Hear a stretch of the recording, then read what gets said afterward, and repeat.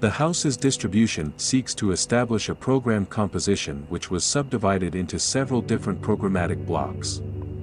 This spatial organization optimized the plot use, creating spaces that merge the residence and the garden. A large green square, permeated by an artificial lake is the centralizing element among the built volumes. The water and the green masses bind different blocks, making the walk through the house pleasant and fully integrated with the outside.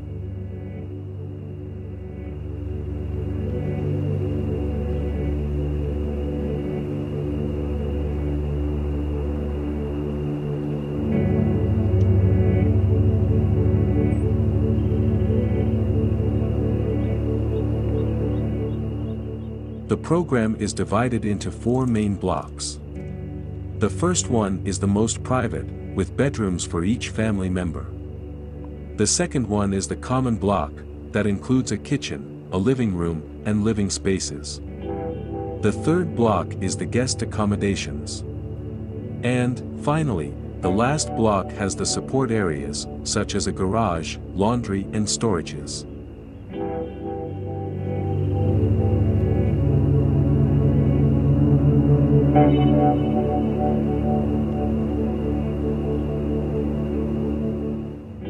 A timber and steel mixed structure was combined with a color range that emphasizes the structural elements.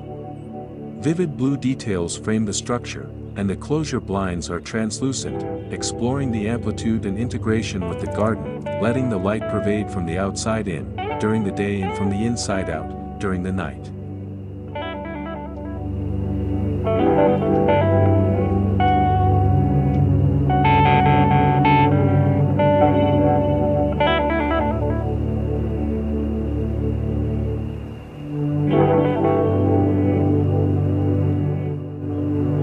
As general premises, the project proposes a fragmented and horizontal occupation, with wide spaces, connected to the nature. What reinforces the intentions of a cozy house for leisure and rest, in a ranch landscape in the Brazilian countryside.